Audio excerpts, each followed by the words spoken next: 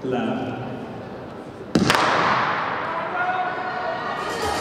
Nu wel goed weg die mannen van de tweede serie. Het blauwgeel van de GAC Hilversum pakt de winst. Florian Vriezen 8-0-7.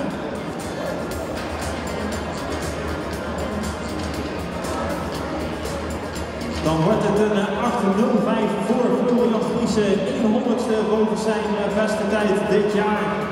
Tweede plaats en dus mee naar die finale, Daan Sikkema 8.54.